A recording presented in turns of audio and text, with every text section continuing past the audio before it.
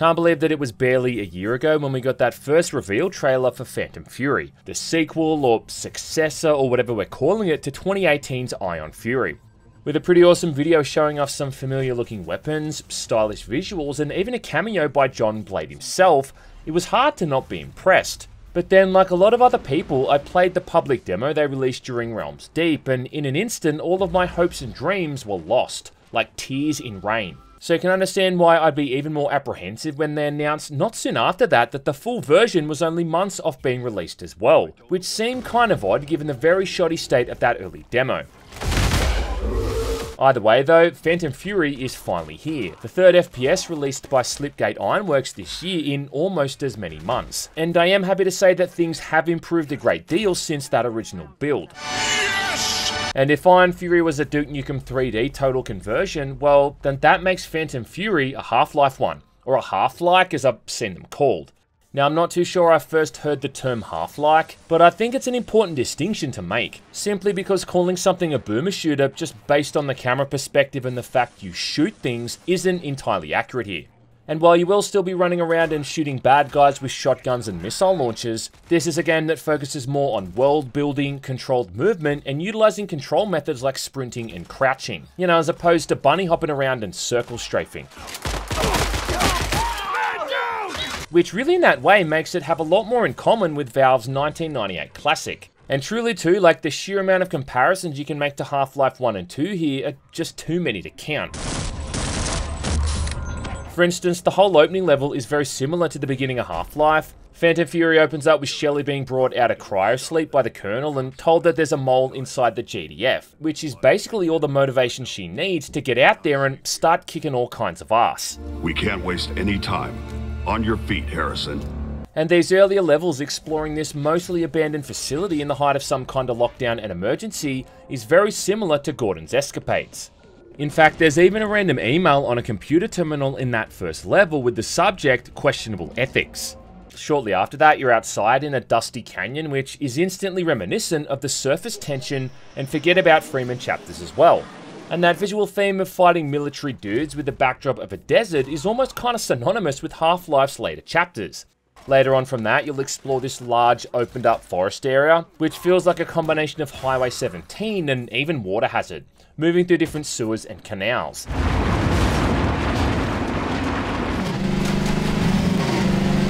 I also got a bit of a Halo vibe from these bits too, with the way this Jeep controls and the machine gun on the back giving me flashbacks to driving around a Warthog. Plus, I feel like the way that the mutant enemies constantly pick up physics objects to throw at Shelly is also similar to how the headcrab zombies worked in Half-Life 2, in the way that they'd whack nearby barrels or crates in Gordon's direction.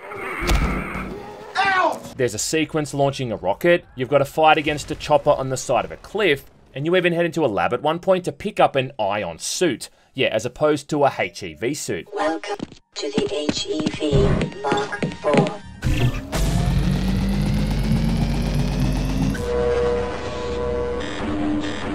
Not to mention there's even an organic weapon that fires out homing insects, which recharges itself gradually over time. Oh, gross. Overall, these early levels just had that familiar ebb and flow to the level design and the combat, where navigation is more about observation more than it is just moving in a linear direction. Gotta keep your eyes open for things like vents you can crawl through, along with reading emails on computer terminals to find door codes. And there is a point to exploring all of this stuff too, because going off the beaten track is going to get you extra ammo, along with much needed upgrading materials to buff up Shelly's weapons and abilities. The buck stops with me. There's even like a little bit of im simming required here too. You know what I mean? Like moving around crates and getting creative with props to get past obstacles. There's not some kind of constant music track playing in the background either, and the sound design relies more on things like the ambient noise and the atmospheric effects, rather than just having this head banging tune blasting away constantly Can't hold them off forever. What's the holdup? I mean, even the weapons are again broken down into different categories, with the crossbow again sharing the same slot as your automatic weapons. Oh yeah, and speaking of weapons too, like that starting pistol feels almost identical to the one from Half-Life 2. And I'm almost willing to bet my house on it that that reload animation is practically identical.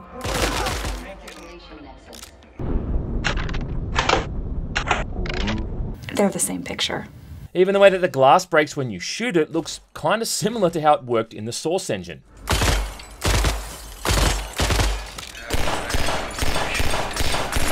Wow, one egghead. Visually too, this is yet again another gorgeous looking game from Slipgate, and it truly captures the feeling that those late 90s and early 2000s shooters looked like. But then it manages to do it in a much more modern way, having all these various effects like volumetric lighting and dynamic shadows. The modeling and the texture work manages to be kinda basic but then also artistic. And I will say one thing too about this game along with Graven and Wrath, and that's that Slipgate have definitely got a consistent look going on with all three of these. They made the jump from 2.5D in Ion Fury to fully 3D here with Phantom Fury, and you can instantly tell you're in the same world and universe, with all of the weapons, the items and characters all feeling instantly familiar. There's a lot of really cool little incidental details with the engine as well, like being able to go around and interact with vending machines and keypads. I like it too how if there's an explosion indoors, it'll often set off the nearby fire sprinklers, and if you shoot the side of a fish tank without breaking it, you can see the water emptying out in real time. Impressive. Very nice. And yeah, like I know it's like a bit of a useless detail, but it's just something that makes the world feel far more believable. You can also consume food and drinks scattered around the environment to get back a little bit of health, and drink too much alcohol in a short amount of time, and the screen even starts to shake back and forth. About the only thing the whole thing's missing is manual saves, because for some reason this is another Slipgate title which uses checkpoints instead of hard saves. And again too, frustratingly, there's no kind of map screen either which ain't a huge issue in most of the levels, but it does become an issue in certain others, especially the ones where you're exploring all of these complex facilities and environments with very similar looking rooms. Either way though, the first few hours of the campaign offer up some genuinely fun little sequences, like being the third wheel in all these combat scenarios where the GDF is distracted by hostile mutants, where you can pretty much choose when and how you want to join the fray.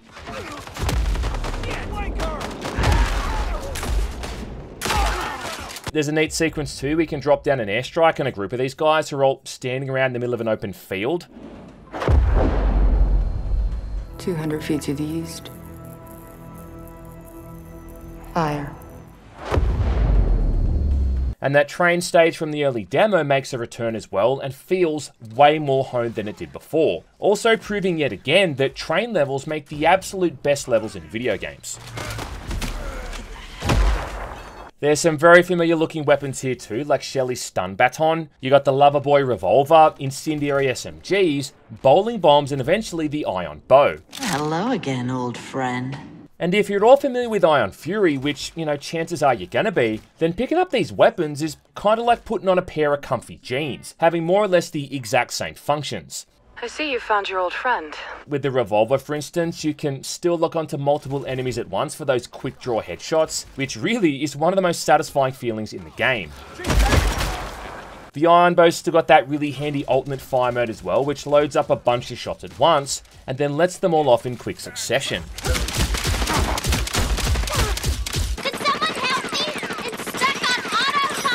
And then the bowling bombs are those handy little grenades that roll across on the ground and home in on nearby enemies, even when they're hiding in cover or behind corners. At least, you know, that's the theory anyway, and I mean, here we are a bunch of games deep in the series, and these things still frequently shit the bed and refuse to work properly.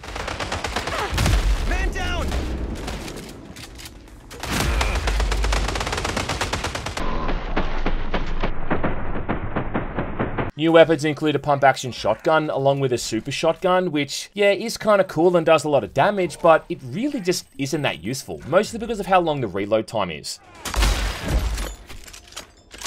There's a basic assault rifle too. There's what's more or less a plasma rifle called the Photon Repeater, a plasma cannon, and then finally the missile launcher. That's good stuff. So you're definitely not going to be left wanting there as far as the means to kill things.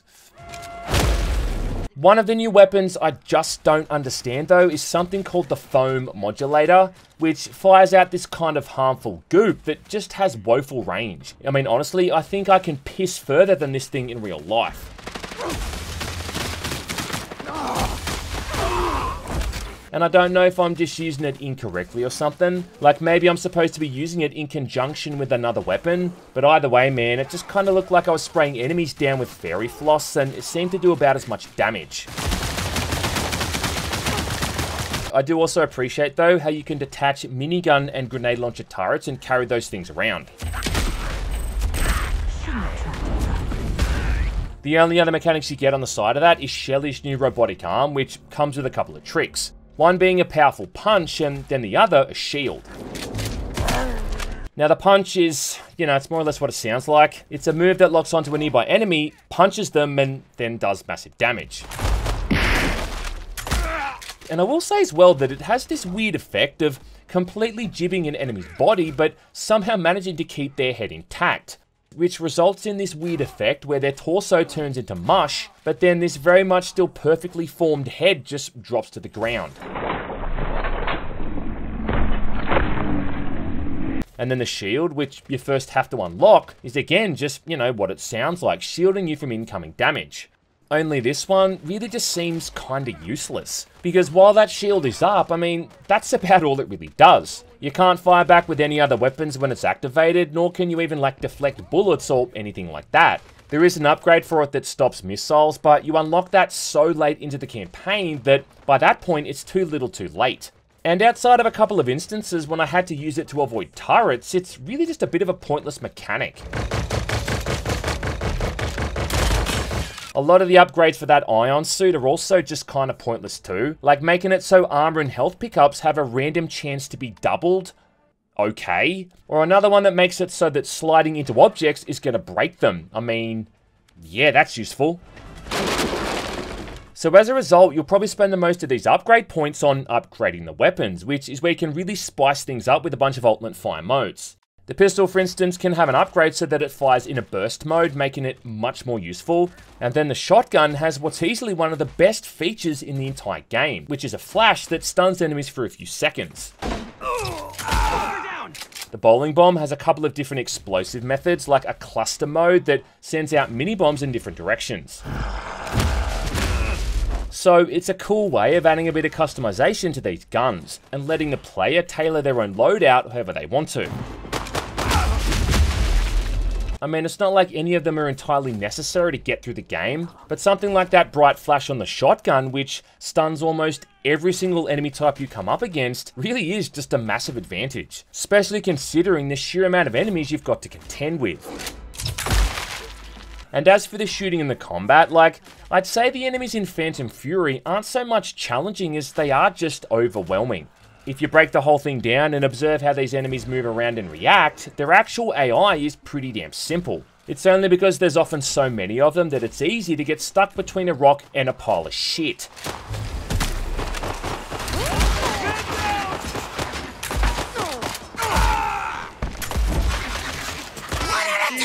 One at a time! And the difficulty there comes more from the fact that, you know, half a dozen of them suddenly all come rushing at you at the same time.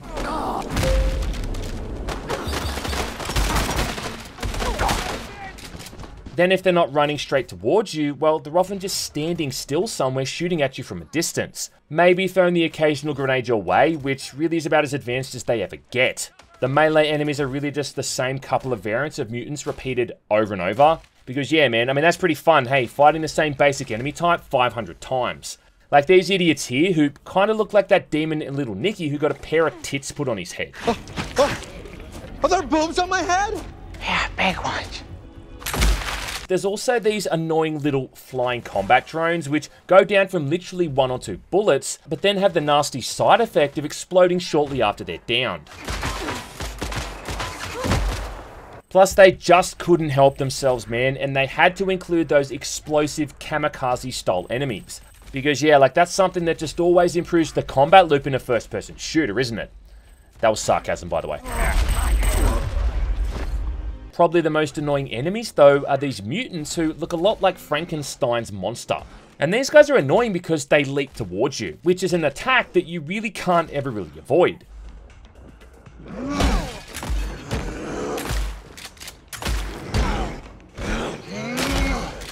What?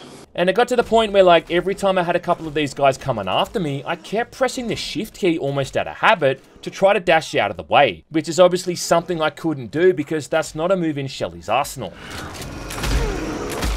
Yeah, about all she can do there is just jump and climb up ledges. Well, certain ledges anyway, because for some reason most chest-high objects are just completely unscalable. And then on the side of that, there's maybe like about four or five boss fights speckled throughout the campaign as well. None of which are really all that creative or clever, and require little more than just shooting the damn things over and over until they go down. So most of the time where the shooting's concerned, you're just going to be trading shots with a few different kinds of hostile soldiers working for the GDF. And there's really not much skill to any of it. You know, outside of making sure your crosshair is on something and just pressing the left mouse button. I don't think the shooting is actually hit scanning here, but the projectiles move so quickly that it may as well be anyway. And just like Half-Life, all the difficulty modes again seem to affect is enemy health points and how much damage they do. I mean, it's not like these guys become smarter or more adept, they just start to hit harder and they soak up more bullets before buying the farm which makes playing through this game on hard mode little more than just a bit of a pissing contest. It only gets harder from here. I mean, look, man, normally I have no issues with trying to beat these kind of games on the highest difficulties if the systems are there to allow for skillful play. But despite these creative environments and some cool sequences here and there, the rest of the shooting is just pretty bare bones stuff. Nothing to lose. And in fact, too, the more you play Phantom Fury, the more you really start to see the cracks, as what started out being an interesting and kind of enjoyable campaign really just starts to become tedious and monotonous and lacking any creative ideas. I mean, it starts becoming half like and then just becomes half baked. What? It's actually kind of amazing too how a game that doesn't even seem to last all that long also somehow manages to go on for too long as well. And there's some areas in here where you will just be begging to see that end of level fade to black. Like an incredibly unexciting on-rail sequence inside a chopper, where you just aim with the mouse and shoot at other choppers until they explode. At certain times the environment collapses around you, but it's completely meaningless and has no tension whatsoever, because you've got no control over where the chopper's actually going. Puzzles range from being painfully simple, like collecting key cards or reading computer terminals, but then other ones are so weirdly specific and vague that you'll be running around the same area for 15 or 20 minutes, just trying to figure out what you're supposed to be fucking doing. What is without a doubt though one of the lamest puzzles in the entire game is the ones where you've got to use a claw crane to move boxes and crates around, often to create these makeshift platforms. And it's like, are we really stacking crates in 2024 here? Really? I mean, look, here's the thing, right? Physics puzzles back in like 2003 were interesting and fun because we'd literally never seen that kind of thing before. You know, so stacking cinder blocks on the side of a plank of wood so we could seesaw our way out of a ditch was a cool and fun concept. But the basic inclusion of a physics engine is about as household as apple pie these days. So having to move a bunch of crap around not once, not twice, but three fucking times. Like, it ain't creative or enjoyable level design, man. It's just blatant filler. Where the campaign really starts to shit the bed though is the last few levels, and I would be very surprised if these levels are even truly completed. There's a plot twist about maybe two thirds into the game, which really comes out of nowhere and makes no sense. And then from that point on is where it just feels like you're moving through levels that are about 80% finished. The level after this, for instance, has you destroying a submarine base, which requires blowing up three separate pylons with explosives. But for some reason, they thought it would be a good idea to only let you carry one explosive at a time. Which means that after planting a bomb, you need to run all the way back to the front of this area to pick up another one, before then running all the way back to the next pylon, all whilst dealing with constantly spawning in enemies the entire time. Just what I needed. After that, you're trying to reach the surface by riding a mini sub, which is another completely challenge-free and boring affair, where you shoot torpedoes at swimming schools of brain and spinal column enemies. I don't know, like, what else would you call these things? What does that have to do with it? No, no. He's got a point. Before Shelly ends up on the streets of Chicago, where it suddenly looks a whole lot like Turbo Overkill, making her way through platoons of enemy soldiers on these hostile streets, where the whole thing just feels empty, barren, and repetitive shooting the same two or three enemy types until it all just starts to become a blur.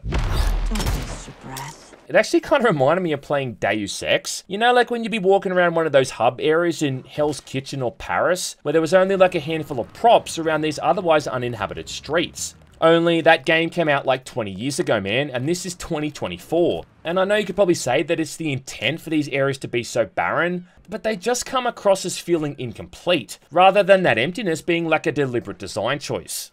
There's a new mini-boss type enemy that gets introduced here too, which when I first encountered it, instantly got stuck in between these two buses.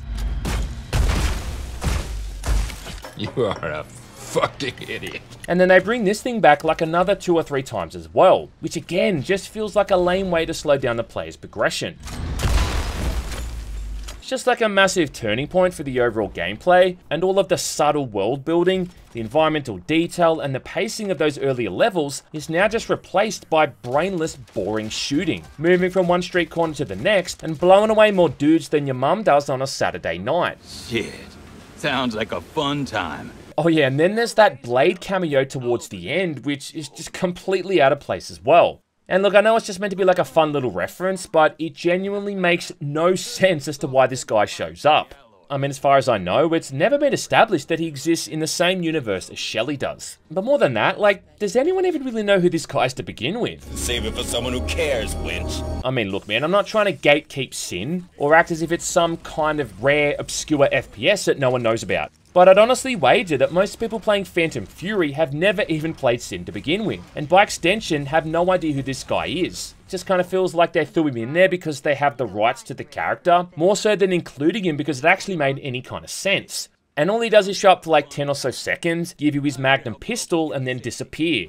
Use this to send Greywater my regards. Oh yeah, and for some reason too, that pistol is now a fucking hand cannon. Compared to the original game where it was, you know, just a pistol. Ah. I told you a new one, chump. Already got it. If nothing else, it was at least a nice little distraction, especially in comparison to how monotonous the rest of this campaign was. That's for sure. And by the time I'd come up to those final few boss encounters, I was really just in autopilot mode and waiting for the whole thing to come to an end, just so I could go downstairs and make myself some toast and have a cup of tea.